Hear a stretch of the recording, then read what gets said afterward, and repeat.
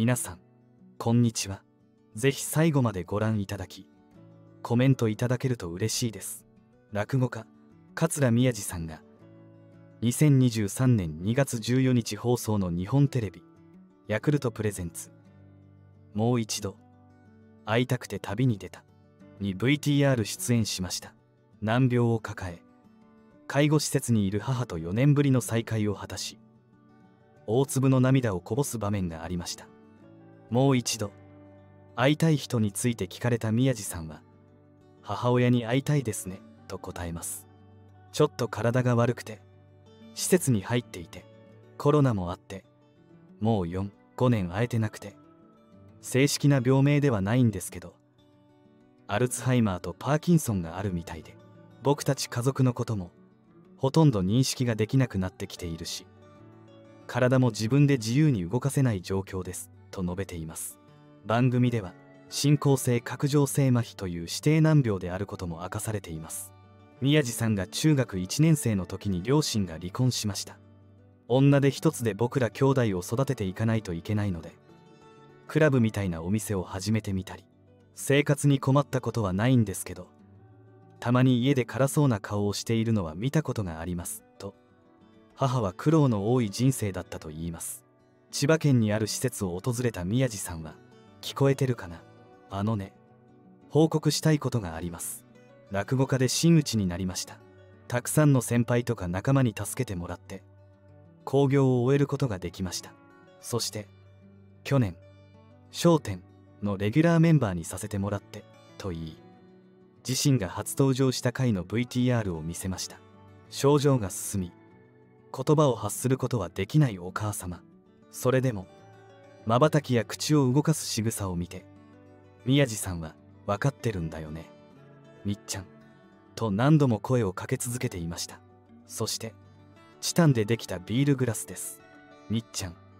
ビール大好きだったでしょ。いつも2人で飲んでたもんね。また一緒にバカ話をしながら飲もうねとプレゼントを渡していました。番組の最後は来られてよかったです。こんなに分かってもらえると思ってなかったんでと言いながらももっと早く来ればよかったなってごめんな。長かったね。テレビ見といてよ。毎週頑張るからさ。と大粒の涙をこぼす場面もありました。とにかく来られてよかったです。分かってくれてるんだなって。ただあんなに可愛がってもらってたのに最後の最後で寂しい思いをさせてしまったなって。これからは会いに行こうと思いますと誓っていました。2022年1月1日日本テレビで放送されている『笑点』にて新メンバーが発表されました『笑点』の大喜利メンバーとして新たに加わったのは落語家の桂宮治さんでした。45歳という若さで『笑点』メンバーへの大抜擢となりました。順風満帆のように見えますが実はすごい人生を歩んできた人だということをご存知でしょうか？そしてその桂宮治さんを支えてきたのは奥様である飛鳥さんです。ここで桂宮治さんのプロフィールを見ていきたいと思います。桂宮治さんは本名を宮俊之といい1976年10月7日生まれ東京都品川区武蔵小山の出身です。桂宮治さんの奥様である飛鳥さんは銀座のホステスとして働いていたことがあるそうです。そんな飛鳥さんと桂宮治さんはどのように出会ったのでしょうか。桂宮治さん B の奥様である飛鳥さんは本名を宮飛鳥と言い1974年生まれです。とても美人な奥様であり桂宮治さんより2つ年下なのだそうです。桂宮治さんの奥様の飛鳥さんは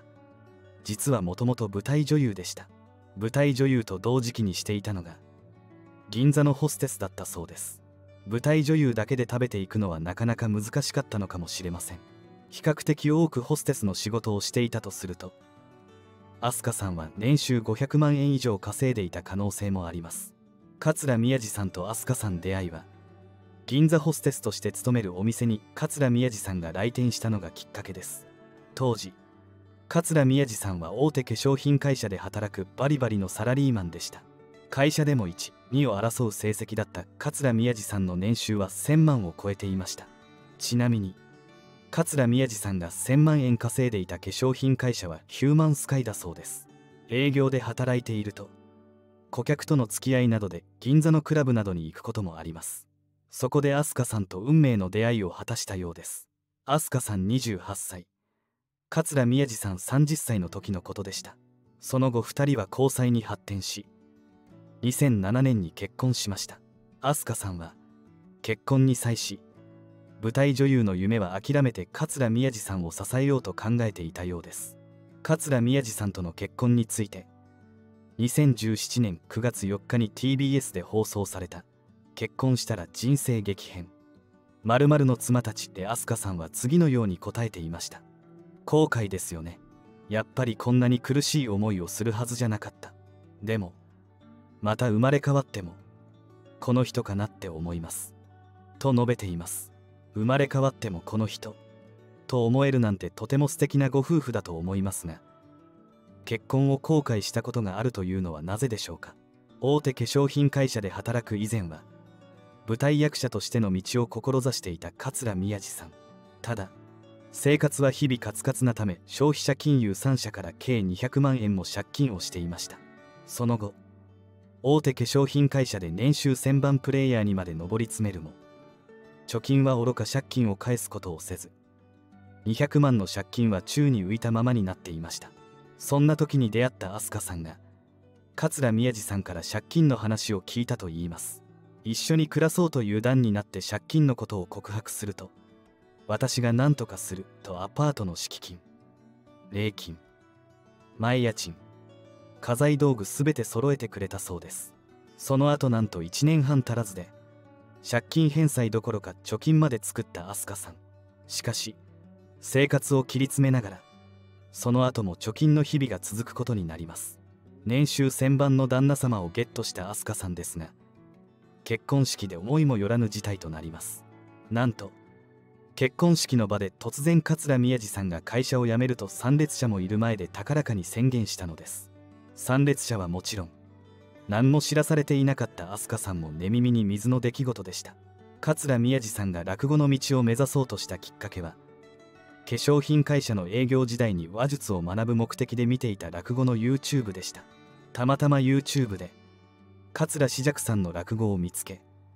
こんなに面白いものがあるのかと落語の面白さに衝撃を受け落語家を目指すことを決意します。そして化粧品販売の仕事を辞め31歳の時落語の世界に入っています。そして結婚の翌年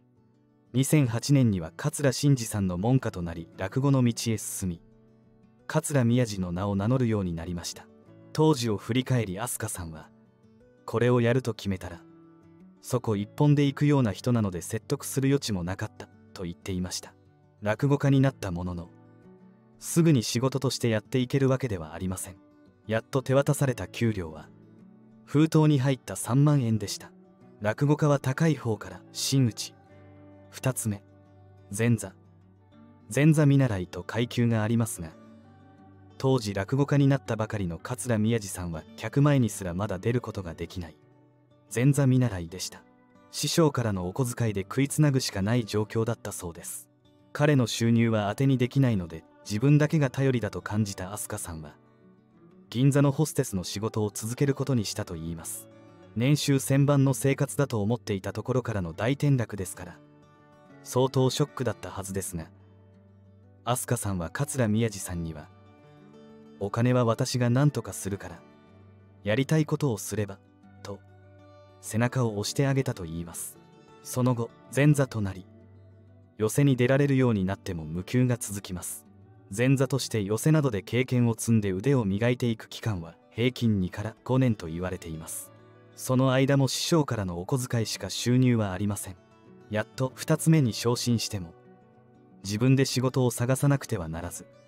師匠からのお小遣いもなくなります。月収も2万15万と個人の実力や営業力での差が顕著に出てくるので収入に幅が出てきます。相当不安定な生活に飛鳥さんも大変だったことでしょう。桂宮治さん夫婦は2010年に第一子を授かりました。しかし2010年はまだ落語家としてお小遣いしかもらえないような状況です。なんと飛鳥さんは産後2ヶ月で銀座のホステスとして復職しました。産後8週間は産褥期といって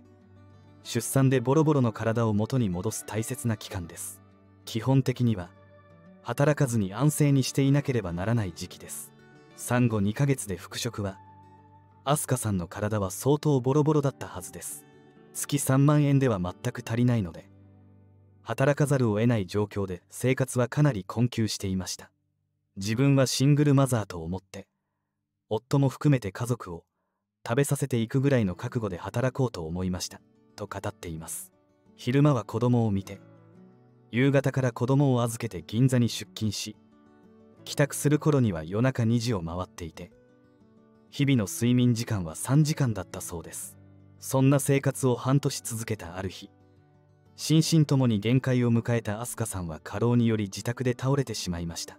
2012年には2つ目に昇進した桂宮治さん。同年には NHK 新人演芸大賞の落語部門で大賞を受賞するなど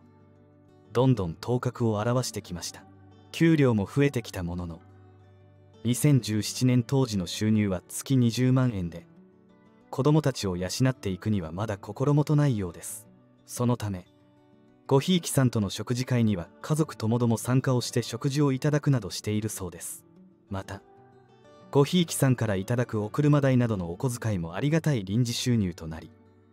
なりふり構わずある意味たくましくなったようです。桂宮治さんと飛鳥さんは3人の子宝に恵まれました。30代からの入門ということで桂真治さんは最初かなり心配だったと思います。こうして活躍している桂宮治さんを見て師匠の桂真治さんも誇らしく思っているのではないでしょうか。いかがだったでしょうか。今回は桂宮治さんの私生活やこれまでの経歴についていろいろと調べてきました。2022年末に最年少メンバーの林家三平さんが突然卒業して視聴者を驚かせましたが翌年1月23日の放送ではそれに代わる新メンバー桂宮治さんがお披露目されました。メンバーは一旦決まるとほとんど入れ替わりがないことも同番組の特徴だけに三平さんがわずか5年で交代したことについては芸能マスコミの間でもさまざまな憶測が流れ中には名人と謳われた先代三平の七光だけで実力がなかったといった厳しい声も出ていました。しかしプロの目から見ると電撃交番はそこまでの驚きではなかったようです。落語に造形が深いコラムニストの堀井健一郎氏はこう読み解いています。焦点は個々の落語家が特別面白い必要がある番組ではありません。むしろベテランのメンバーが一生懸命に冗談を言い合っていつ見てもおなじみの掛け合いを繰り返しているところが長寿の秘訣です。その代わり出演者には口数や瞬発力が求められますがそういうタレント性に長けた落語家というのは実はそう多くはないのです。としています。三平さんの交番も落語家として面白い。面白くないという点は全く関係なくおそらくメンタル面で大変だったのだと指摘しています。焦点でのキャラクターは